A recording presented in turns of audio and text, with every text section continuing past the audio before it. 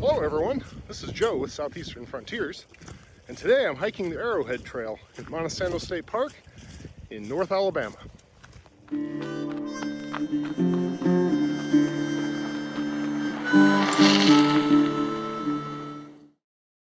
The Arrowhead Trail is a 6.1 mile, moderately trafficked loop trail in Monte Sano State Park. I'm hiking the loop in a counterclockwise direction today, starting at the parking lot off of Monte Sano Boulevard, just across from the entrance to the Burritt Museum. Hiked this way, most of the trail can be described as a lovely walk through the woods with some moderate to steep uphill a little over halfway through. The trail starts out fairly level and then gradually descends down to a lovely spring where water pools behind a small stone wall. The trail then continues for a long, fairly flat stretch to the junction with the Natural Well Trail. I then take the Natural Well Trail steeply up until reaching the Natural Well itself. After the Natural Well, the trail continues uphill, but at a bit more gradual pace, until crossing the Arrowhead Trail. You can either take the Arrowhead Trail back to the parking lot or the Natural Well Trail, which parallels it. The Natural Well Trail has a washout along the way, but hikers have beaten a pretty clear path through it.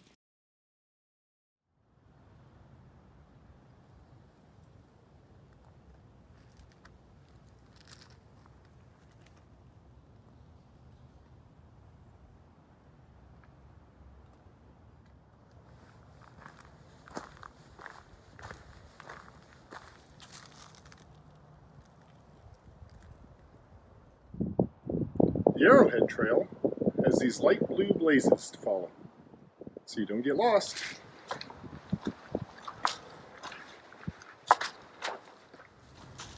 Along the first part of the Arrowhead Trail, you are following along the base of some cliffs that can be seen in the distance through the trees.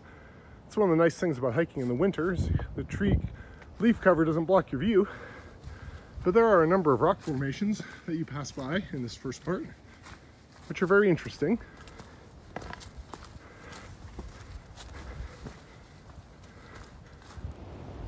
Big surprise, there are some daffodils blooming along near the trail. Very pretty. Here we pass through a little gap in the rocks, which is kind of fun. Kids especially have a great time going through this section.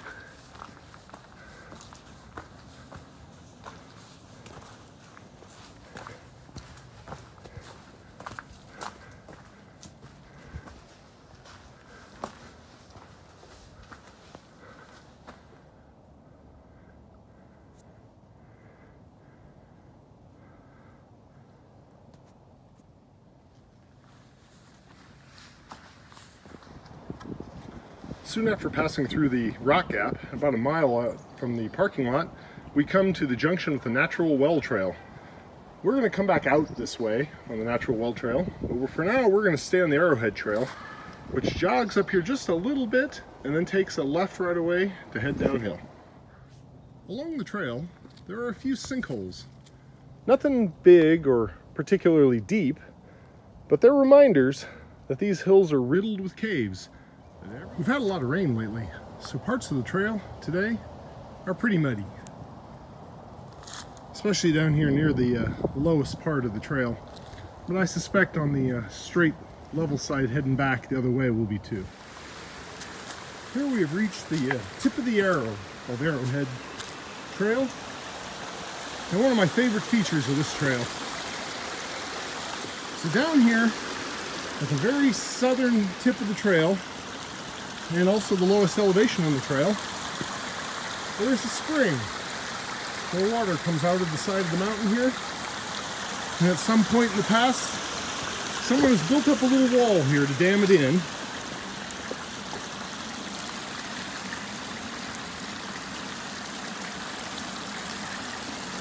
Making a lovely little pond with water running out of it and flowing down the mountain.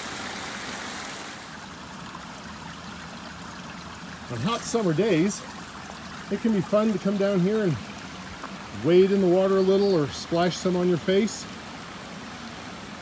I usually try to time this part of the hike to come near noon so that I can sit here and eat my lunch while watching the water run.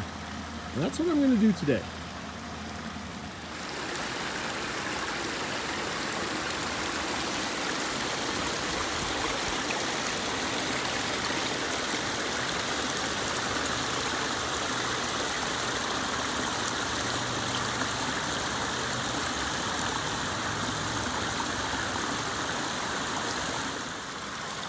All right, lunch finished and time to say goodbye to the lovely spring and move on.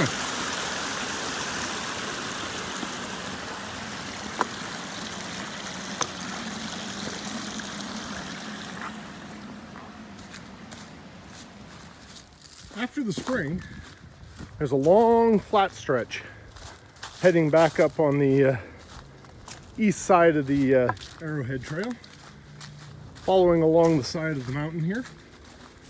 It's a little muddy in places today, but normally it's a very nice trail.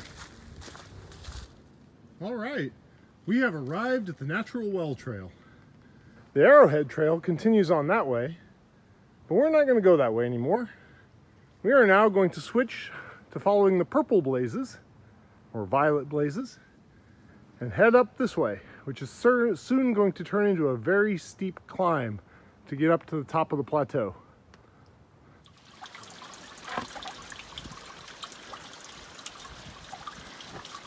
This is what I call the dry waterfall. We got come up a little ways. We have a long way to go though. We have finally reached the natural well. The natural well, well has a fence around it, as you can see here, for good reason. As you approach the edge, hang on to your socks. It's a long way down.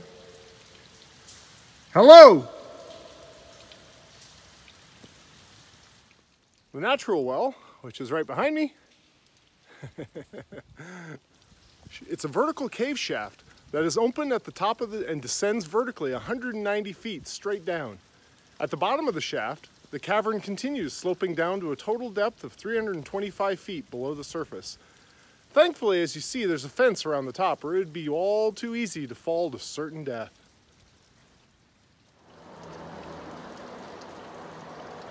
That's a deep, dark hole there. Obviously, this trail was once a road.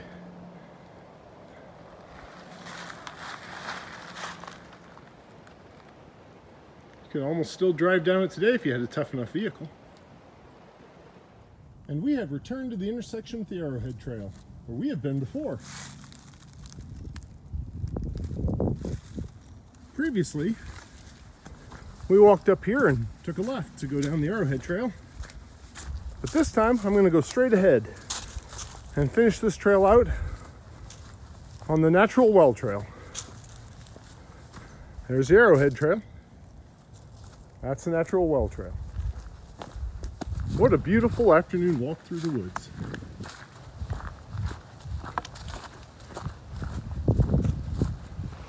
This is where a landslide a number of years ago rushed down the side of the mountain and wiped out a portion of the trail. You can see it continues, the road we've been on continues on the other side, but there's a bit of a gully here in between now. But there's a path beat through it, so it's not hard to get through. But it's interesting what a landslide can do. There we go, made it through to the other side.